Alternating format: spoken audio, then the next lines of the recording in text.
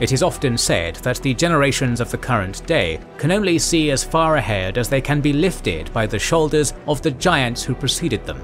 However, in the case of the realms of the Circle of the World, these self-same giants, through their own folly, would leave their successors devoid of any path to follow but that of bleak subsistence in a lesser world. Similarly, such a lesser world would breed lesser men, easily manipulated by remnants of those long-lost eras, and it is in this manipulation from the shadows that the crux of our tale can be found. Welcome to the first episode of our series on the history of Joe Abercrombie's First Law series.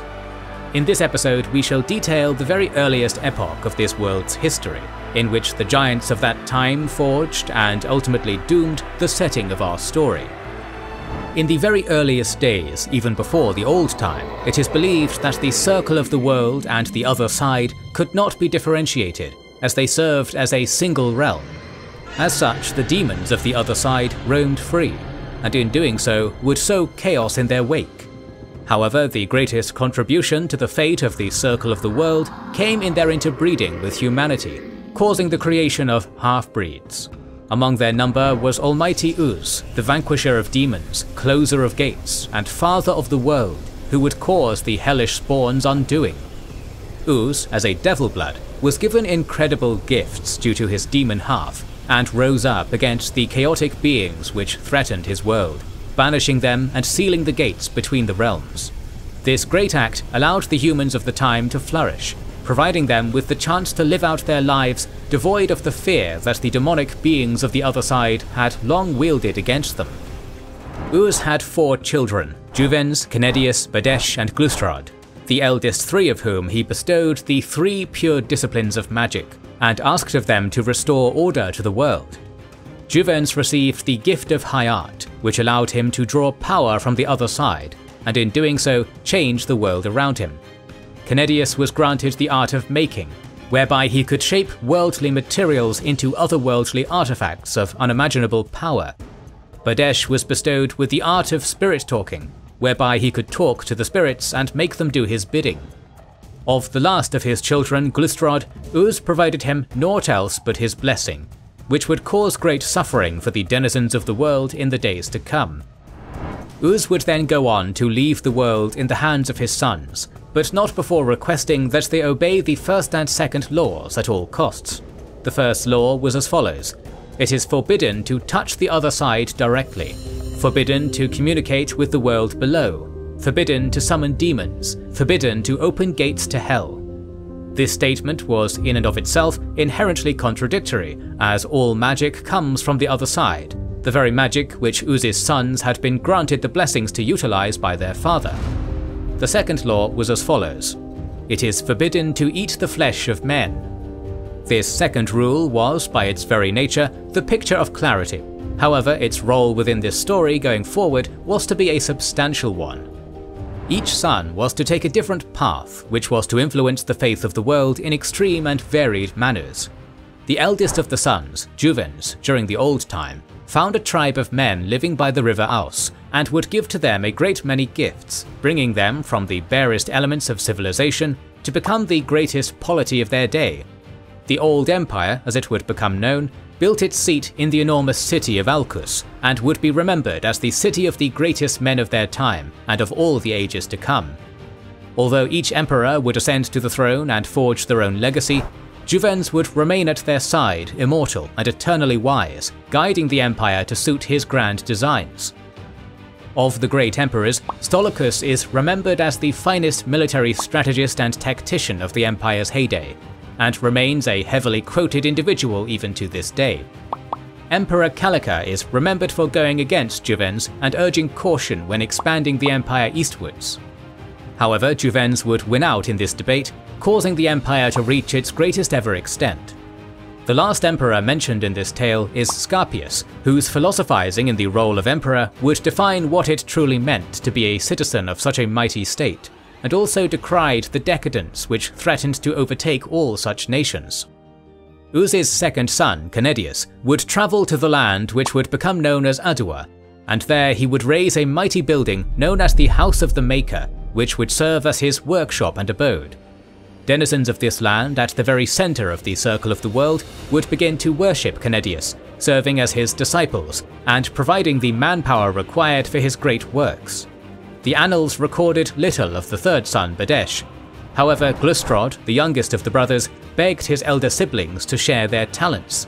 None were forthcoming, for one and all they rejected him.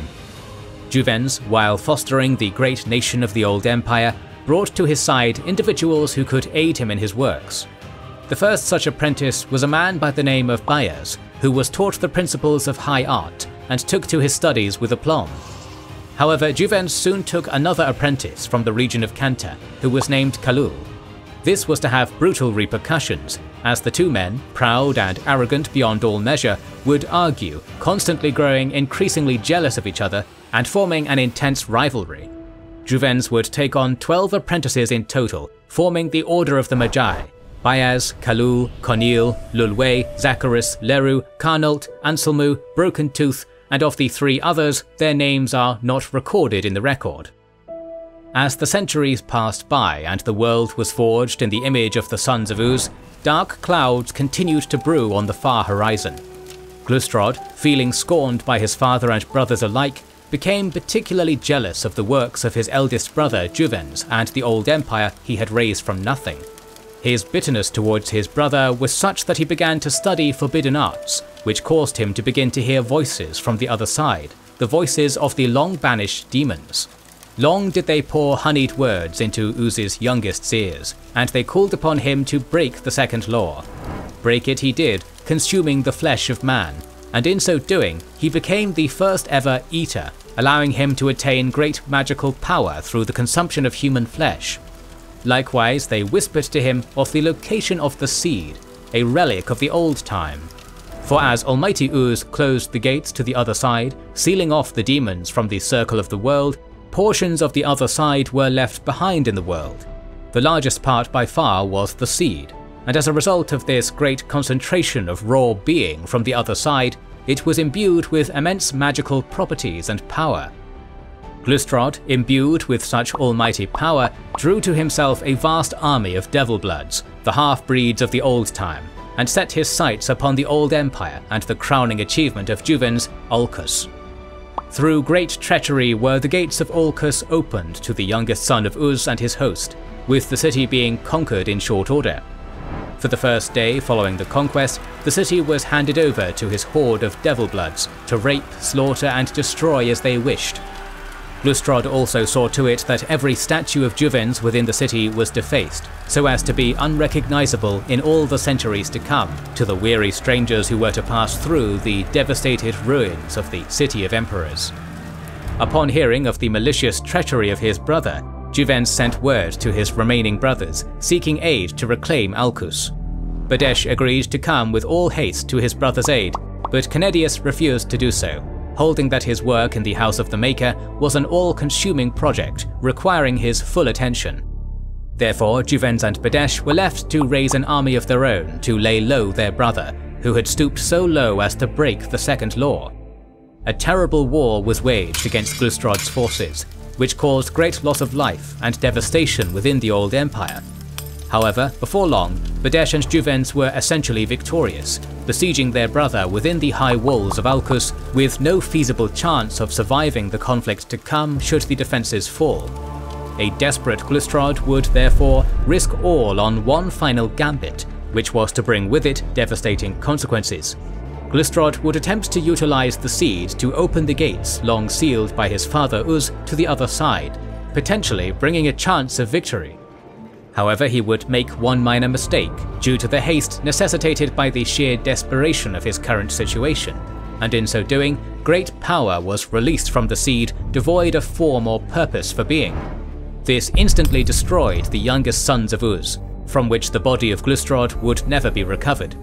In terms of the wider consequences, Aulcus was effectively razed to the ground and left as a poisoned wasteland, never to recover from the devastation wrought by the seed. Following this great destruction, Juvens, at the head of his army, entered Aulcus, whereupon one of his young soldiers found the seed. Although Juvens was left unharmed and suffered no ill effects from the seed, his soldiers were not so lucky. An entire legion of battle-hardened veterans in his army was consumed by some form of unknown illness, which wasted them from the inside out and caused them to die horrible agonizing deaths. Juvens recognized the great power of the seed and initially decided to give it to his brother Kanedias, who believed he could turn this most evil of relics to a far more righteous end within the House of the Maker. While it lay within the House of the Maker, Kanedias toiled over it, yet he would soon learn of the impact it could have upon others from extended exposure. His daughter Tolomei dwelt within the house. She suffered a particularly prolonged exposure to the seed, which changed her. Distrust was soon to grow between the two brothers, Juvens and Kanedias, with the former no longer believing the seed should be entrusted to the latter. As such, Juvens, Kanedias and Bedesh journeyed to the far western edge of the world, upon the Isle of Shabulyan. There the seed was given up to the spirit of the island, and Bedesh, using the talent bestowed upon him, instructed the spirit to keep it safe, and yield it to only the individual who carried the staff of Juvens. The mistrust between Kanedias and Juvens would continue to grow, and eventually centered around the fate of the first of the Magi, Bayaz. However, this is a tale for our next video on the history of the First Law series, which will focus on the fates of the Sons of Euz, the roles of the Magi in the world they now found themselves leading, and the stark decline to follow. The next few videos in this series will be dedicated to the efforts of the Magi to forge a new path forward in the Circle of the World, but we're planning to cover the battles of many other fantasy, sci-fi and space opera universes, so make sure you have subscribed and pressed the bell button. Please consider liking and sharing as it helps immensely, and don't forget to comment. We will try to read and respond to every comment, as we want to know what you think about this video and which videos you hope to see in the future. This is the Wizards and Warriors channel, and we'll catch you on the next one.